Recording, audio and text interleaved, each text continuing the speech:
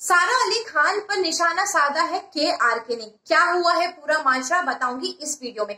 नमस्कार, मैं हूँ रिदम ठाकुर और आप देख रहे हैं बॉलीवुड हेडलाइंस दोस्तों के आर के अपनी हर सोच को शेयर करते रहते हैं और हमेशा किसी ना किसी पे कमेंट करते रहते हैं।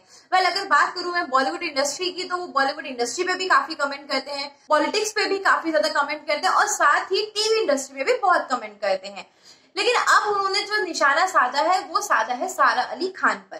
पहले उन्होंने ऐसा क्यों किया है? मैं आपको पहले वो बता देती हूँ कि सारा अली खान ने एक पोस्ट शेयर किया था और ये पोस्ट जो है, वो है यूएसए में जो अश्वेत नागरिक पुलिस कस्टडी में जिसकी मृत्यु हो गई है, उसको लेकर है, जिसका नाम है जॉर्ज फ्लॉयड इनकी मृत्यु के बाद में बॉलीवुड सेलिब्रिटीज के मन में भी काफ़ी गुस्सा आया, लोगों को भी काफ़ी गुस्सा आया, जिसके बाद, एक के बाद, एक के बाद लोगों ने जो है अपनी अपनी भावनाएँ शेयर करना शुरू किया। ऐसा ही कुछ सारा अली खान ने भी किया था, लेकिन सारा अली खान ने जैसे ही शेयर किया, उसके बाद उनको ट्रॉल करना शुरू कर दिया गया। और बात इस हद तक बढ़ गई थी कि उनकी एजुकेशन डिग्री को लेकर भी लोगों ने सवाल उठाने शुरू कर दिए थे। लेकिन जैसे ही सारा अली खान को लगा कि वो बहुत ज़्यादा ट्रॉल हो रही है, इसी के चलते उन्होंने अपने पोस्ट को डिलीट कर दिया।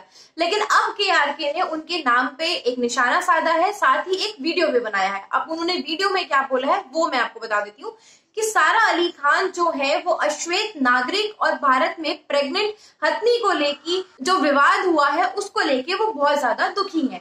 वेल well, वो काफ़ी ज़्यादा उनके रोने की भी एक्टिंग कर रहे थे कि रो रो के वो बता रहे थे कि ये जो है अभी सोकर उठी है वरना ये बहुत ज़्यादा रो रही होती।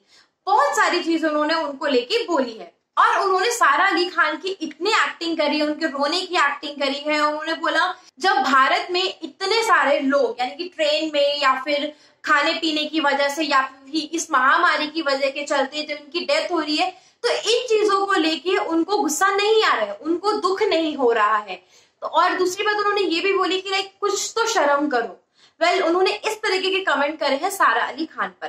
वेल के आर के ने ये पहली बार नहीं किया है। इससे पहले भी वो कई बॉलीवुड सेलिब्रिटीज के ऊपर वो उंगलियाँ उठा चुके हैं। इस खबर के बारे में आपका क्या कहना है? नीचे कमेंट सेक्शन में ज़रूर बताइएगा। बाकी सभी खबरों के लिए बने रहिए हमारे साथ बॉलीवुड हेडलाइंस में।